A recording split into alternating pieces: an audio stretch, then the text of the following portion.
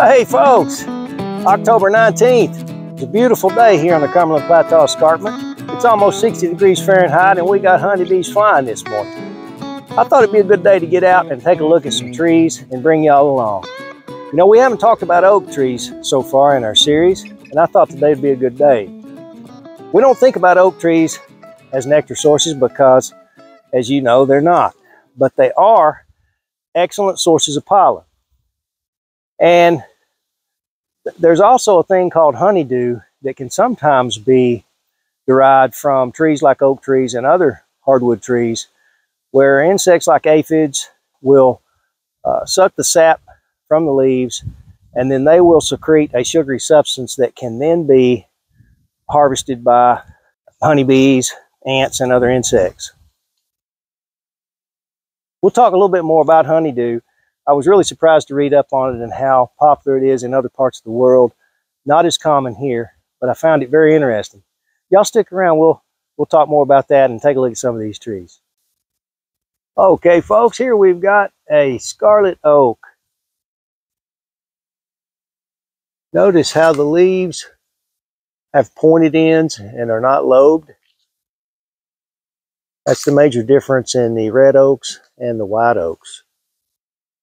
But the northern red oak bark has a lot deeper furrows than the scarlet oak. And you can, you can see this, there's almost a, a pinkish tint to the bark. The scarlet oak has amazing, spectacular color in the fall, hence the name scarlet oak. Okay, next to it here, we've got a, an old chestnut oak. Notice these leaves have a very characteristic shape rather large. The bark on the chestnut oak is has pretty deep furrows.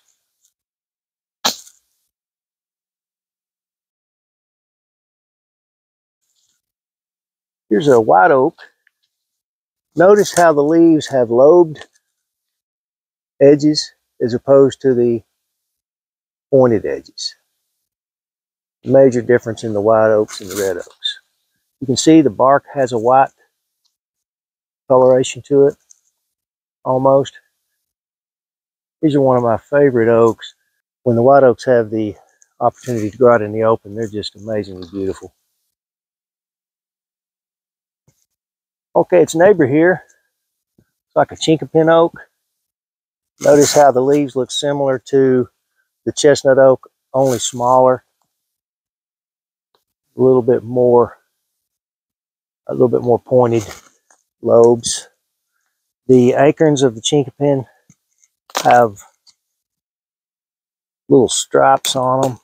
See if I can find one here.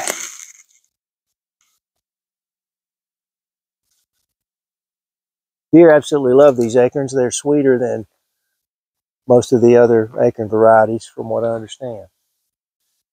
Here's an old white oak stump. It was a tree that I accidentally killed I girdled it with a zip line that I had tied between it and this chinkapin oak over there uh, when I had a tree house here when the kids were young. And so we got plenty of firewood out of it, but I'd much rather got the firewood from a down tree in the woods and save this old white oak. But uh, lesson learned on that one. Walk over here and take a look at the bee yard from this vantage point.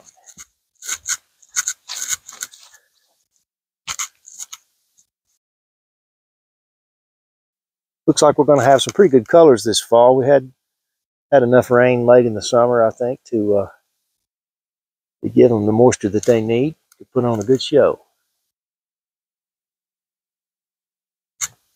Nice young tulip poplar here growing up in the fence row. I'm going to let, let, let it grow.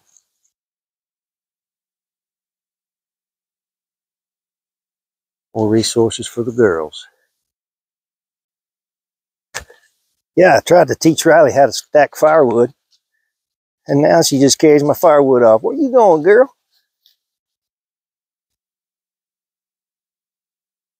Come here, Riley. Bring that piece of firewood back.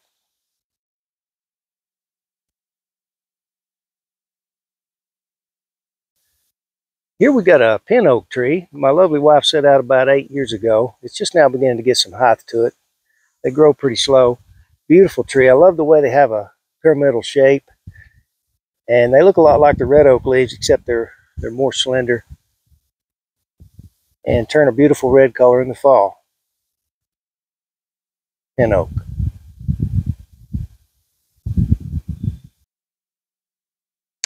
This one looks to be an old chestnut oak.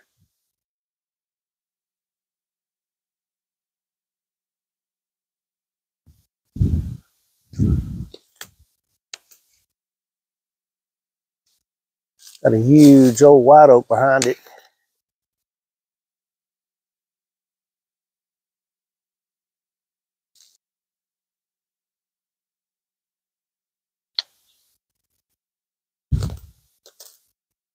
Hey, Riley, what are you doing?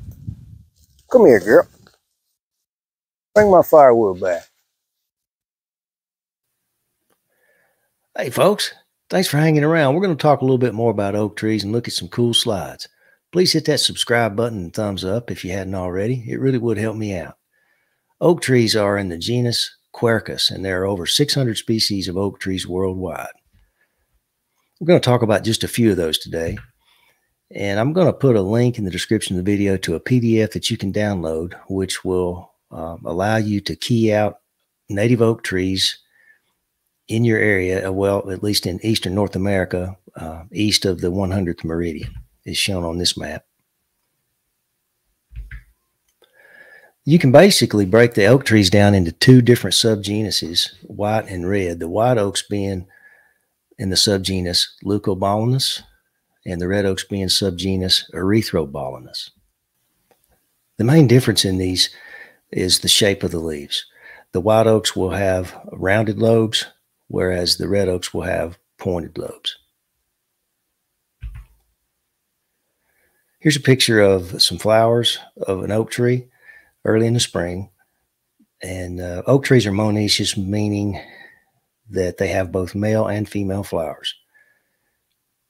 You can see in this image here the catkins or the male flowers hanging down, full of pollen. The, the female flowers are kind of tiny there over on the left. And so these are uh, wind pollinated. You will get some cross hybridization amongst the oak trees within their subgenuses, and which makes it very difficult to identify uh, the hybridized oaks. And that's why they're mainly just categorized as red and white. Okay, here we're going to take a look at some ranges real quick of, of the different oak trees that we took a look at outside. Here's a scarlet oak. You can see the range. Uh, the, these range maps came from that field guide that I mentioned that you can download yourself. What I really like about this is it gets down to the county level.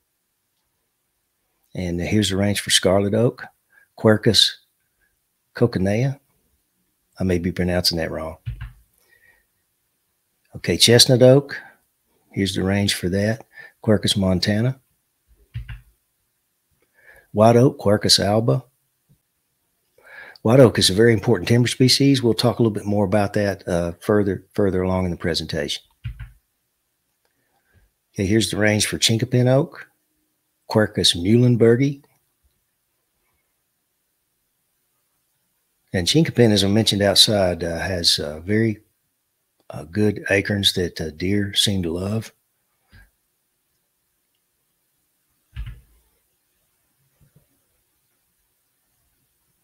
The natural range of pin oak. Now, pin oak is a very common landscape tree uh, that you'll find all over the U.S., I'm supposing, but uh, this is the natural range. Okay, when you take a look at honeybee.net, and I'll as as always, I'll put a link to this in the description of the video. And then and and when I go into uh, to my region, Appalachian and Uplands region, uh, you'll see the Quercus genus listed. The oaks oak trees are listed here as a non-significant source, and of course that's just for pollen, as we mentioned earlier. Which brings us to honeydew, so, sometimes known as oak honey, also known as forest honey really interesting when I got to reading up on uh, the how you could possibly get a, a honey-like substance, if not honey, from various trees, including oak trees. I'll put a link to to this in the in the description of the video, so you can take a look at it for yourself. But uh, but I basically just wanted to highlight this article here, and, and it talks about how honeydew honey is known to be one of the most unique, most intriguingly exotic honeys in the world. It's been acclaimed as a special honey even among the specialties. The bees love honeydew and feed on it to culminate into an absolutely spectacular 100% organic end product, making it uniquely different from regular honey made from the flower blossom nectar most of us know. You can see here a picture of an aphid uh, working on a little leaf stem, and uh, they will they will basically feed on the leaves and the stems, and then only um, they can only use a very small, maybe one to two percent of this liquid uh, as a protein source, and so the rest is is excreted as a sugary substance. It it uh, it said in the article that its uh, flow is often strong in late dry summers. It's uh, highly appreciated in certain parts of the world by connoisseurs and honey lovers alike for its strong flavor and healthful properties. You know, down here at the bottom it says the uh, uh, the while the composition of honeydew honey varies by the type of insect and plant, just as composition of blossom honey varies by the type of blossom, there are some common differences. In general, honeydew honey is higher in minerals and amino acids, as well as higher molecular weight sugars, oligosaccharides, which are prebiotics that have a beneficial effect on bacteria in the digestive system. And here's a picture of an ant harvesting some honeydew from an aphid. I thought this was cool looking back in uh, John Lovell's 1926 book, Honey Plants of North America. You can see here an excerpt from, uh, I believe this, yeah, this was page 46. I'll put a link to this book in the description of the video. Um, it's in public domain. However, I couldn't find a PDF. What I did find though was a was a web-based copy of it.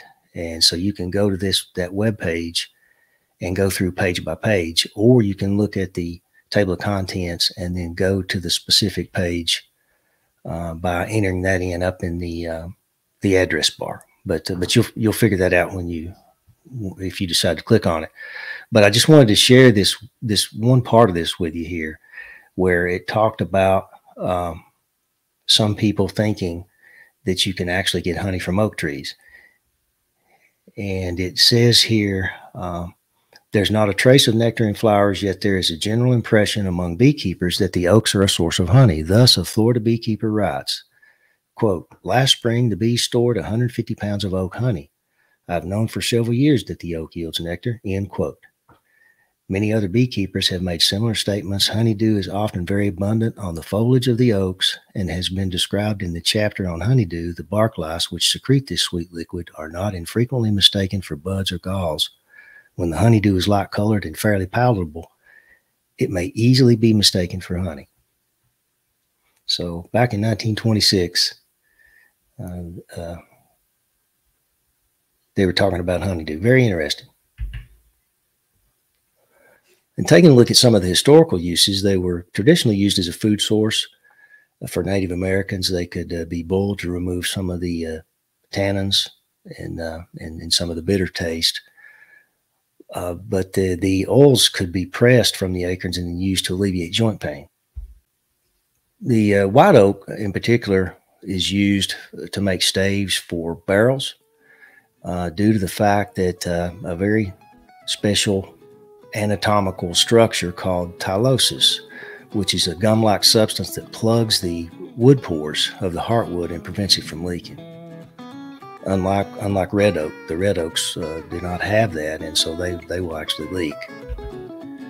Uh, also, uh, shipbuilding in colonial times, the white oak was the preferred lumber.